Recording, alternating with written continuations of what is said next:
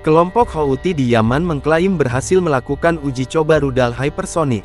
Mereka mengklaim rudal tersebut diuji dan berhasil mencapai kecepatan hingga Mach 8 atau 6.200 mil per jam.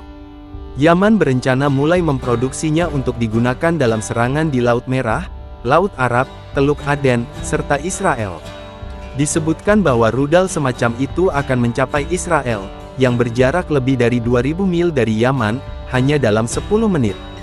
Mereka juga mengklaim telah meningkatkan rudal dan drone mereka untuk membawa hulu ledak dua kali lebih kuat dari yang mereka miliki di gudang senjata mereka. AS sebelumnya mengatakan telah mencegat serangan pesawat tak berawak dari Yaman di Laut Merah. Rudal balistik yang ditembakkan tidak mengenai kapal mana pun. Setelah pembantaian tanggal 7 Oktober Houthi menyerang rute pelayaran internasional di Laut Merah dan Teluk Aden sebagai tanggapan atas operasi Israel di jalur Gaza. Menurut Houthi, 61 kapal telah diserang. Penggunaan senjata baru dan canggih oleh mereka, mengejutkan AS dan Inggris, kata seorang juru bicara. Gangguan terhadap salah satu jalur pasokan maritim paling penting di dunia yang mengarah ke terusan Suez di Mesir mendorong AS dan Inggris melancarkan serangan udara dan operasi pertahanan di wilayah tersebut.